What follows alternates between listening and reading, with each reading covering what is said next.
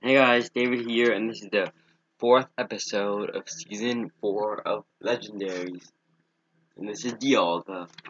Without further ado, let's get started.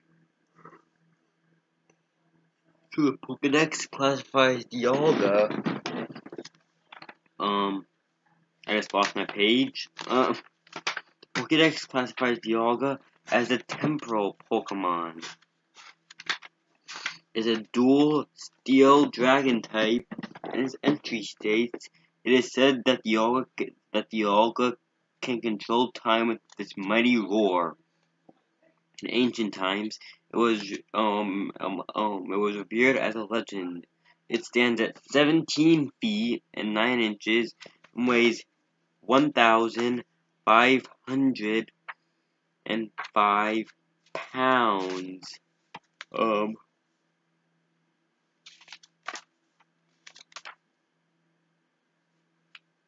Um, so um, it can learn Dragon Breath, Scary Face, Metal Claw, um, Ancient Power, Scary um, Slash, Power Gem, Metal Burst, Dragon Claw, Earth Power, um, and, um, um, an Aura Sphere, um, Iron Tail, um, and Roar of Time, and Flash Cannon. I hope you guys enjoyed.